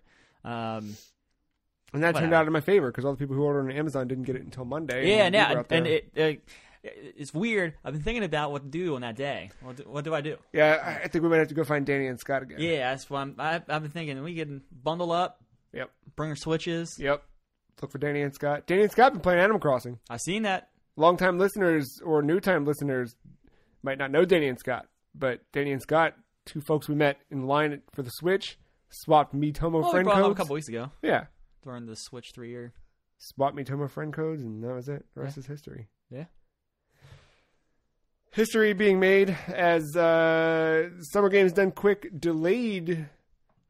Normally, I think SGDQ starts uh, early to it's like late to early. I'm sorry, late June to early July. Uh, delayed August 16th to the 23rd.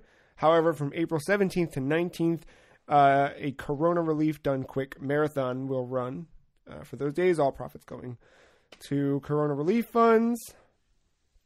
Makes sense. Sakurai, I'm sorry, Masahiro Sakurai of. of Oh, I was going to say some of it. I thought what was interesting is they're going to have you resubmit yes, your your speed run. yes, thank you. so. Bonesaw, Get it, get it, get fingers it. crossed. Um, Let them in. Yeah, they're resetting all the the lineups they currently had so that people can uh, resubmit. There's a new timeline, new time frame for that. If you go to gamesdonequick.com, you can read. Did they release the game schedule or the games or anything like that? I don't remember. Because I, I'm, uh, I'd be curious if they have released it, and then if they change it based off new games that would come out at this point. Because I think you would see it. Yeah. There almost, there almost has to be a Doom Eternal speed run, right?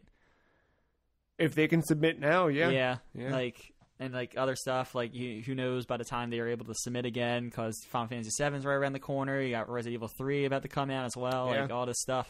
Hey, speaking of Doom speedruns, there was one of the cool things of the speedrun from 2016 Oh, okay, okay. was Glory Kills.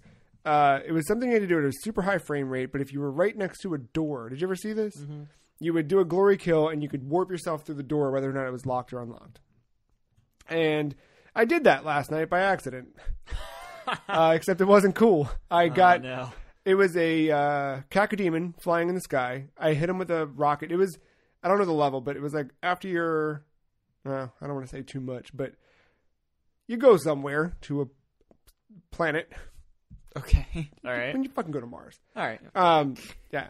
Uh, but I'm running and I shoot him and I glory kill. It warps to him and then I fall through the environment and I'm behind a wall that you can climb and I can see like the hand groove textures, but it's all still transparent. I just see the little like black lines across the screen, and then I'm just standing on rocks. I can't jump up. I can't get out. I had to reload the checkpoint and go from there. But neat that that still kind of does. I guess the glory kill instance like pulls you into a momentary cutscene that you can then glitch or what. So Doom Eternal speed I mean, it definitely does because like especially when you get that power up that lets you warp across the map. Like, there's got to Yeah. be something there. Yeah. Uh, Masahiro Sakurai has a weekly Famitsu column, and in the 600th of those columns, um, he speaks a little bit about the effects of the current quarantine situation on Super Smash Bros. development. Uh, this comes from sourcegaming.info, and the gist of it is that right now they're still kind of working because they're able to go to the office, but um, they're very careful. He can't go on any business trips. Um, he said that they've been recommended to work from home. Um, the problem is that ordinary business, or, or he says that work from home for many people is fine because whatever, but they have a lot of confidential, right? Like the, Yeah, yeah. the stuff they're working on is obviously Unless you're secret. Right, yeah. Then just get on an airplane, fucking make it. Um so it's kind of like we can't really afford moving development equipment, so you can't really work from home. And with children at home, you would need to take breaks to keep an eye on the kids. It's like all of those things that would affect it. He said that his business trips have been affected, so things where he would go to Nintendo in Kyoto, just little things like that, but also trips to other companies, planning new fighters, presenting to publishers, all those things, all those meetings have been indefinitely postponed. Um, Yeah, because I'm sorry if I'm wrong, but is Smash still developed by Konami it's or partnered? Wasn't one of the Smash games? uh, Bandai Namco. Ban- oh, sorry. Okay. Yeah. Um, yes, I, he's, I think, specifically talking about his game studio, Sora Limited. Okay. I don't know if he's also talking. I don't know if that works. If they work like directly in the same buildings with Bandai, I don't. I don't know. But it'd be one thing. I'm sure like Nintendo has different offices, of course, like, like most companies. But like, you know, one thing to have it all in house in Nintendo. But like when you have a co-publisher or co-developer or something like that, and their studio is across the country or you know or in a different office, then yes, it does get you have to travel. yeah. So he, he, you know, the fact that he even can't just go to Kyoto from, I assume he's in Tokyo.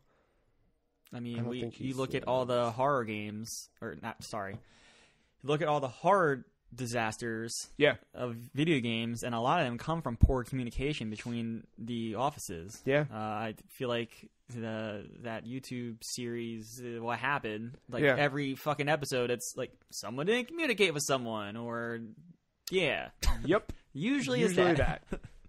Uh, yeah, he's in Tokyo, so he can't get from Tokyo to Kyoto, which, as a Japanese expert, um, mm-hmm. I mean, resident. no, if you take the bullet train though, like that was only a hour and a half bullet train. No, I don't remember.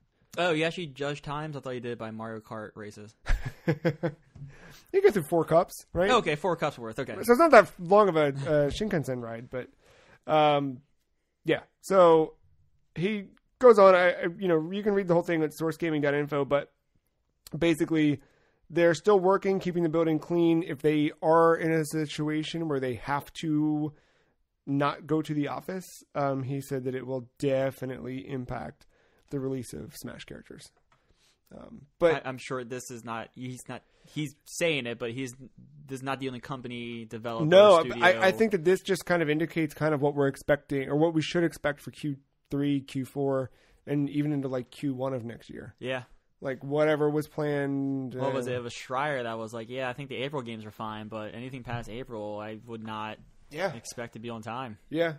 Because how can you? and that's huge.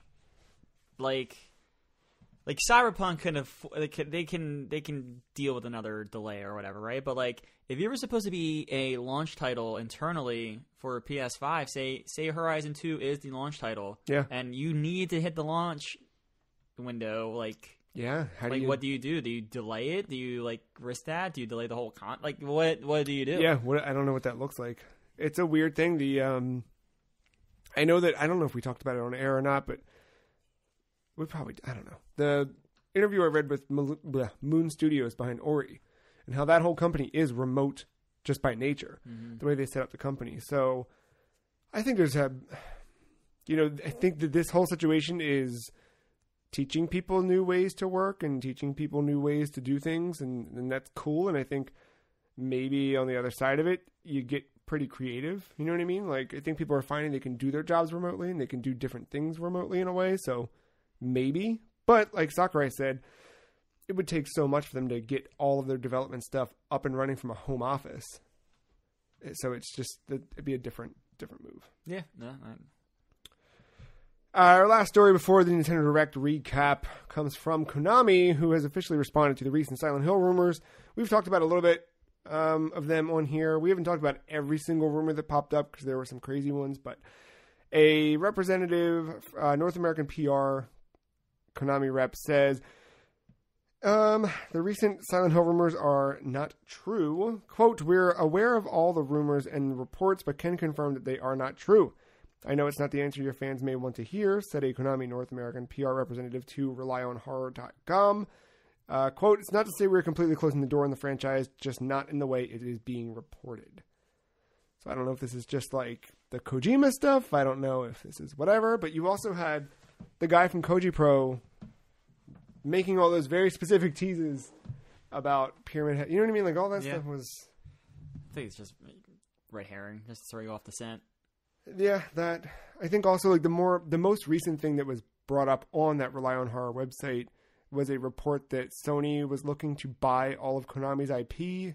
I think yeah, that, like that. That's that, that seems outlandish. I mean, there's always those rumors of like, oh, well, Microsoft's thinking about buying EA, or like that stuff surfaces. It never comes true. I I don't know. It's I I do think they're doing something with the IP, and I at this point I do think Kojima is in, it, involved, but uh, I, I just don't know yeah. in what capacity and and like and like you said, we've seen this in the industry before. Just, I'm not going to be at E3, and then here comes fucking David Jaffe out in an ice cream truck. Yep.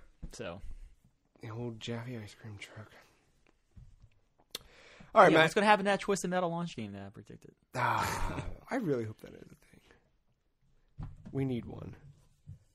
Just like we needed a Nintendo Direct this week, I want to thank you, Matt, for uh, waiting and watching it live with me. A little live texting back and forth. Um, so this was a, a hell of a surprise. Normally we get some sort of warning. Got nothing. 10 a.m. It said, "Yo, here's a Direct.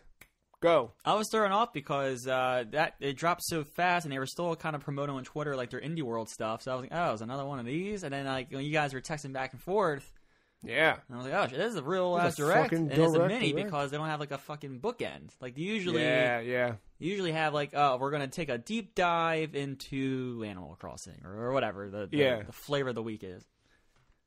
That's what Um, even had me more excited about this.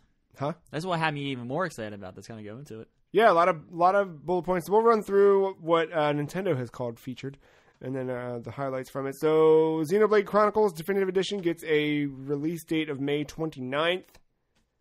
Still don't know how I feel about this one. Uh, yeah. I mean, sure. I, it's just not my cup of tea. I had nothing bad to say about it. Uh, there is it, whoa, um, more on that on the news though. Like, isn't there DLC or something with it, or what was that? What was the gold font about? I was Uh, kind of half listening. yeah, no, it Sorry for those, you know, Blade Chronicle fans out there. no, there was a But you never know. I shit on Animal Crossing a long time ago, so Xenoblade Chronicles Future Connected. Uh, I think it's just like new. Con- I don't know if it's brand new content for this or or not. I can't remember now. Um, there not there's nothing really there. but it's all you know remastered from the Wii game. Uh, I think maybe they added stuff with the 3DS game, and they're adding that all here. Um, that's out May 29th. 2K has announced. Oh, and just uh, more on the on the on that news though, but like uh, they Nintendo's very direct, no pun intended, upfront about saying that these release dates are Well, yeah, yeah, could yeah, change because of what's going on in the world. So That's true. As of right now, it's May whatever. I'm sorry, 20, 29th, yeah. 29th, But um, they were very upfront in the first ten seconds of that direct saying that these dates may not hold. Yeah. Uh, Bioshock the Collection, Borderlands Legendary Collection, and XCOM 2 coming to Switch. Three bangers. Well, no, that's good. I think across the board, they're all. That's all. It's a good win for the Switch. I mean, Bioshock makes sense. I mean, I, I was t- texting you like Bioshock was on an iPhone at one point, so Yeah.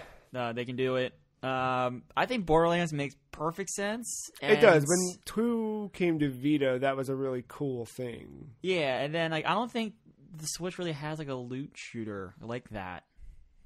You got Diablo, but not in the shooter way. Yeah. right? like you do have the loot. Like you don't, like, yeah. So I think like that fills that like that not it's not a niche audience by any stretch of the imagination, but definitely fills that genre that is Yeah. probably a lack on the Switch. And then XCOM is kind of at home on, on on the Switch. I like that Yeah. like to go aspect. Turn I, off and I on. think I might get because I never played two, so I might grab that. yeah, I never played two either. I heard the thing about two. I heard was just stay away from DLCs. I heard they make the game incredibly difficult. Huh, interesting. You, I will look more into that, but yeah, uh, XCOM two. Bravely Default two out. Uh, wait, did they give a release date for this? Sorry. I think I think they said summer. Either way, there's a demo out on the eShop right now. Available 2020 Ah, okay. on the Still- Nintendo website. But you can download the demo. Oh, that's what it is. Download the demo, and then you can give feedback um, based on what you play uh, to help kind of shape the game for the future. Downloaded the demo, started the demo, went, oh right, and then I kind of stopped the demo. I don't know. I, I'm really happy Maybe the first games. one's like well received. Yeah, and I think an this one will be too for sure. I just don't think they're for me. Nope. This one, game of the show here. Tabletop classics from around You the world. games of the show? games of the show. Uh, Clubhouse Games 51 worldwide classics, Matt. You got backgammon. You got billiards. You got Hanafuda. You got so many games all across the board, promising the pro. Or I'm sorry. Uh, finally, what am, what am I looking for? Delivering the promise of the Wii U tech demo way back when, when they were playing Go on the Wii U gamepad. Now we get to play it this summer on Nintendo Switch. Yeah, instead of using Adobe After Effects to fool you into thinking it was running on a Wii U, now it's actually going to be able to run on a thing that's not a Fisher Price toy. It's true. Pokemon Sword and Pokemon Shield expansion pass. Uh, they showed a little bit more off of that game. I think at that point I was kind of like, "Yep, got it, got it, got it." Um, so I don't really. Yeah, you, meanwhile texting, oh, just one more thing, just one more. Cut- I Yeah, thought maybe there would be, you know. Ah. No. Um, but that's out. Still targeting June for that first half of the pass, and then the other half uh, winter.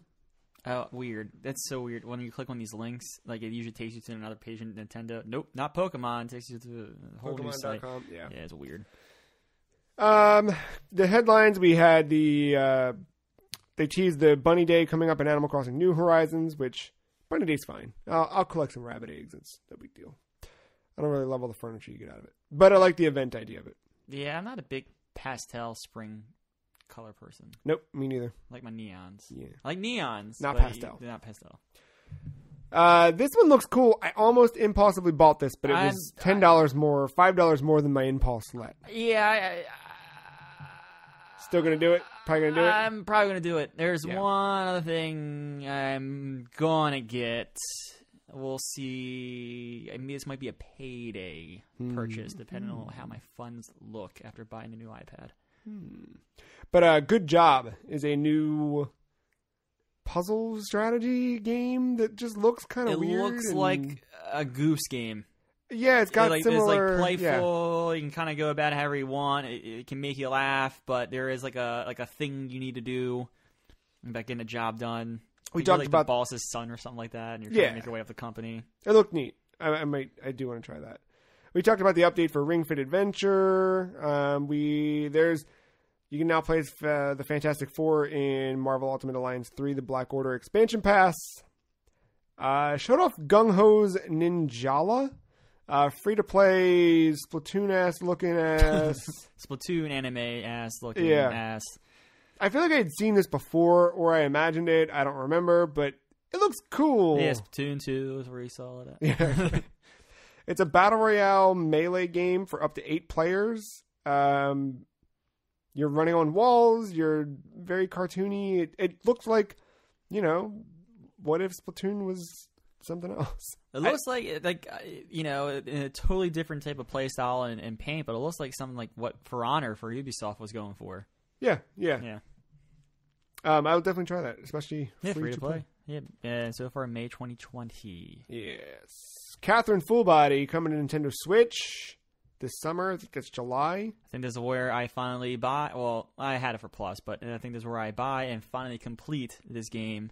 Uh, yeah, Uh, I always like the Catherine game. Or uh, Yeah, Catherine the game. idea. Yeah. I, I like I liked Catherine a lot. I just it was like a it was one of those things where like once you fall off that game, there's no getting Yeah, back to gotta- uh to where you were in that puzzle, so you have to start all over. Uh, King's Bounty 2 coming to Nintendo Switch. Some civ ass looking Age of Empires thing. Yeah, I think that that, you know, could do well enough. Um, Look- Um, maybe it looks like looks like one of those, you know. Yeah. Civ ass Age of It's Empires. ass. classic tactical RPG. Uh, Shinsekai Into the Depths. That was the. Uh, so this is the second of Apple Arcade exclusive games that are now reaching other platforms. Exit the Gungeon was shown off a week ago in that indie world, and uh, now this guy from Capcom uh, out on Switch now with more content, and that content was then dumped back into the Apple Arcade version as well. Uh, what do we got here? Panzer Dragoon remake and Jedi Knight Jedi Academy out now on Nintendo Switch. It's gonna be weird. Uh, I don't think I, I already own Jedi Academy uh, on Steam, but uh, it's gonna be weird to play after uh, Fallen Order. Oh yeah, It's very arcadey. Even Star Wars Racer, little little surprise I forgot about. yeah, that's neat. Um, we saw stuff about. Slayer. I mean Panzer Dragoon. Uh, there was a quick little montage that showed off like a Warhammer 40k game. Um Burnout Paradise Remastered coming in 2020. Saints Row 4. Trails of Cold Steel 3. Mr. Driller Drill Land coming June 25th. Uh, I think it was a Japanese only GameCube game, if I'm not mistaken. Minecraft Minecraft Dungeons due out this spring still. Uh, so that's looking cool. Oh, there's that rhythm game too, Fuser. Yeah, weird DJ Hero 2 kind of thing. Yeah. And then we got some Super Smash Brothers news. Um, so we learned that the next fighter for Super Smash Brothers is going to be from the Arms series. Of course, we talked about arm gro- arm girth earlier in this episode, but Matt, who's gonna be who's it gonna be? What from Arms? Yeah, Uh, the main dude. I think they're gonna let you do. uh how because Twintella and the and the dude play very similarly, right? No, Twintelle has the she's got braids that she fights with. Hmm. Hmm. Mm-hmm. They could do a, a one two like an Echo Fighter thing. Yeah, Springman Ribbon Girl kind of thing. Yeah. You got. Uh, I'm surprised your vote didn't go for Helix. Oh, I'm thinking. I'm sorry. I'm thinking Twintelle is the is the chick. Ribbon Girl. Oh yeah, yeah, no. Ribbon Girl is the one you're thinking of. Yeah, Twin Ribbon Tail's the one she uses. She's got her pigtails that she. so Ribbon with. Girl and the poster boy. What's Yeah. name? uh, Springman. Springman. Uh, they they play very similarly, right? Yeah, Yeah. So I think one fighter, and then you can change the costume to male or female. Hmm. Much like, isn't that how Byleth? yeah. No, that makes logical sense. It's just not what I want. So um, Uh, well, I mean, I don't think you're going to get what you want here. I think you're just going to have the poster boys of Arms because you're trying to promote Arms that's fair. For the inevitable sequel. That's fair. Oh, you think they're okay? Yeah, they're doing all this shit. It's not just for a fighter pack, because no, no, they're doing a sequel. I'd be okay with it. They're doing a sequel. I'd be very okay with it. They did also put Smash characters in who have not been on a. You know what I mean? You got Joker in Smash. Yeah. Not uh not on a Nintendo console. They, I'm saying like logic doesn't always follow these things. And then they talked about the Arms free game trial um, that you can play. Let me get you an exact date on that one. There isn't an exact date listed. It's like a week. I think it's at Release least date June 16, 2017. that. Doesn't, that's, I think it at least runs you through this um the current like Crash Fest they're doing, and that's through April fifth, I think. So. Yeah, it makes sense. Yeah. Well, there's your news for the week. There's your surprise Nintendo Direct of the week. I'm Oh, excited. 326 to 46. So March Boom. 26th to April 6th. There it is. Matt, speaking of April 6th, on April 3rd, Resident Evil 3 remake releases. Just a couple days later, Final Fantasy 7 remake Part one. Part one. Part 1 releases. we've talked before about remakes, and we've talked about games like Parasite Eve, what deserve a remake. What games do you think deserve a demake?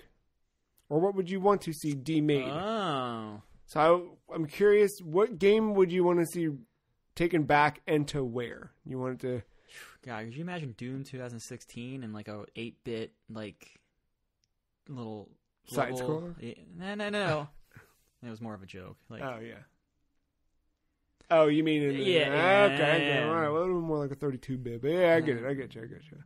Yeah. Um, huh? All right, D Yeah. demake. demake. Which platform? What kind of era? You know what I mean?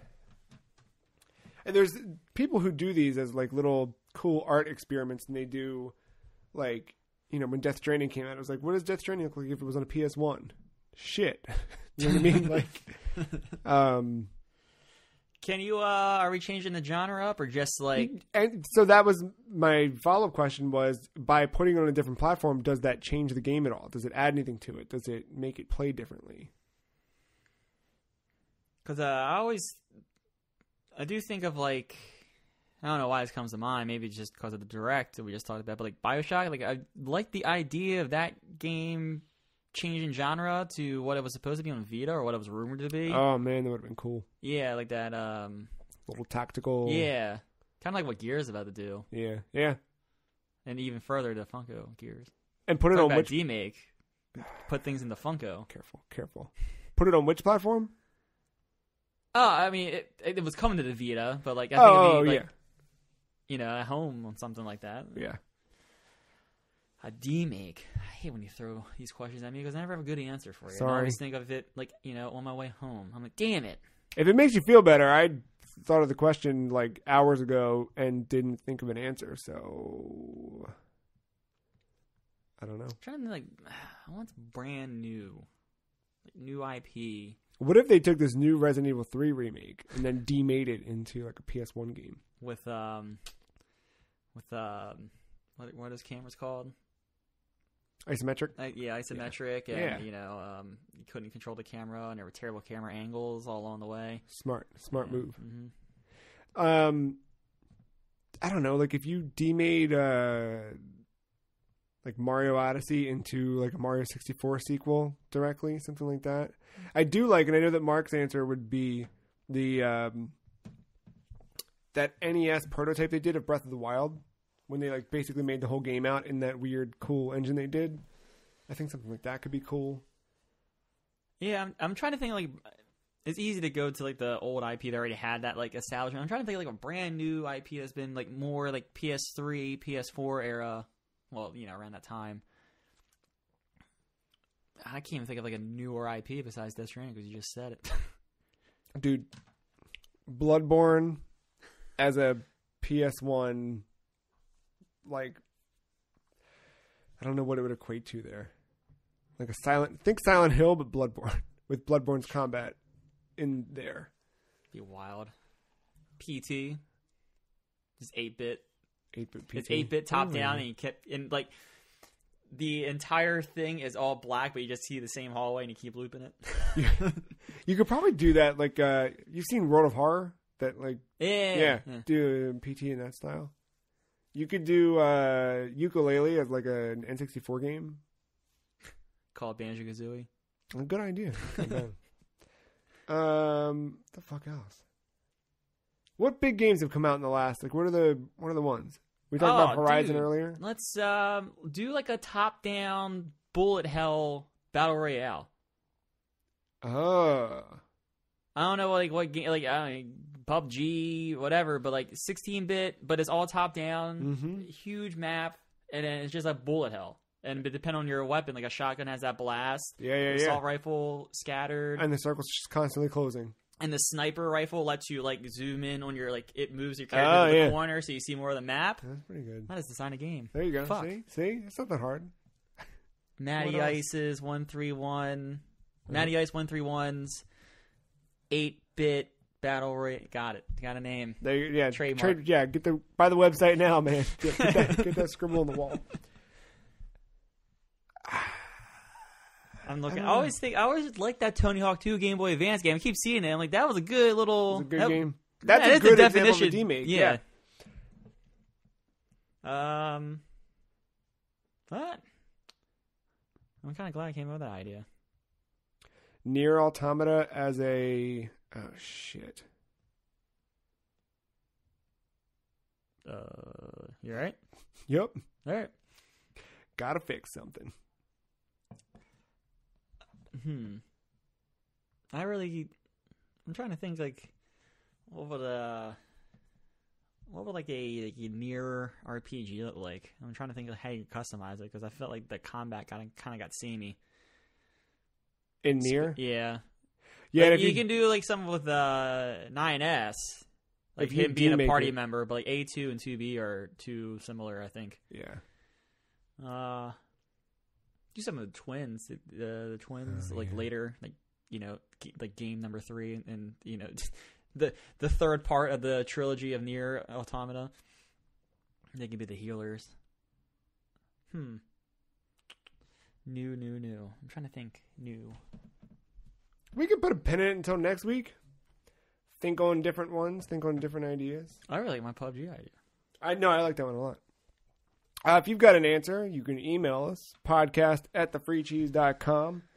Uh, we'll read it on the air. I don't know what else, dude. I don't know. What would be like a good like Dead by Daylight Uh, back? Like I don't, I don't have choice to genre, but like make it like fucking Resident Evil One graphics running Yeah. around. or fucking Sweet Home, you know, Resident Evil's predecessor graphics. Make it real. You could do some shit. Uh, you can also go to thefreecheese.com. Uh, check out our previous episodes, the previous content. Follow us all on Twitter. The Free Cheese is at Some Free Cheese. Matt is at Matty Ice one three one. I am at the Free Cheese. Dude, they already did it, but you can make a Shenmue three fighter. They did it as a DLC thing Oh yeah. because it's just it's just Street Fighter, and then put on a thing called a Dreamcast. I could be okay with that. They need. Uh, you still make a Shenmue four? Yeah, Do you think it's being made right now? yeah. All right. Um, well, that's going to do it for us. Thanks for hanging out. Uh, go enjoy Doom, enjoy Animal Crossing, enjoy everything. And we'll be back in another week. What are you playing? I'm going to beat Doom today, hopefully. And Animal Crossing. I might. I'm going to finish that demo for RE3 and see if it, like, pushes me over the edge or if I'm, like, satiated. I'm uh, I've Because I do decided. want to replay Doom stuff, too. Yeah. Uh, I've decided that I'm just gonna watch some streamer. Don't know which one yet, but some streamer play RE3 because I just, I'm never gonna get through it. I got like two hours into RE2, and then Mr. X came, and that was the end of that. So I can't imagine what Nemesis chasing you constantly is gonna look like. Yeah. So uh, that's fine. Yeah. Uh, I will enjoy a watch through of that. DLC for Control came out, Oh, and yeah. I wanted to t- uh, touch it before recording, but I never got around to it Yeah. because I was beating Doom. So I think I'm going to download that, get the pass, so that way I'm ready for the next batch of it as well. Um, but yeah, the f- uh, the foundation for Control, I think I'm going to play around with that. It'd be cool to come back to that game. And then uh, I, Get Out is not Get Out, fucking hire me or whatever the get a job. Good What- job. Good job. Yeah. the game's just lingering in my head, and it, it- the past like two days here, it's just been lingering. Like I kind of want to play it, so. Yeah. I, I've kept almost. I keep going to the eShop. Like, And I know very well, like in three months, it will pop up on my Humble Bumble, Humble Bundle or on Game Pass or something. But I kinda want to play it. I don't. I feel like that was published by Nintendo. I might be wrong. Um, whatever. But Yeah. like, I wouldn't be shocked if I saw it somewhere in like Yeah. three months. But nah, fuck it, I'll get it. Looks fun. Yeah, no, It was I, one or two dig players, and I'm curious about how they did the two player thing. Yeah, I think I saw it when I looked up the information for it for the price. yeah, I don't know. Well, that's it for us. Uh, we'll be back next week. Thank you for hanging out and listening. Stay safe, stay inside, have fun playing video games, drink some Coke Energies. That's all I got. That's all I've been drinking. Hell yeah. Like I, I haven't. I feel like I'm like betraying the, the the mark of the beast. It's okay. It's not okay. The mark of the beast is my go-to. Good old Monster Energy drink. It's good to have different go tos. It's good. I need a return. Uh, next week, I'm having a Monster on the There you show. go. Yeah. There you go. All right, we'll be back next week. Thank you, Matt. Thank you, listener, for listening. We're out.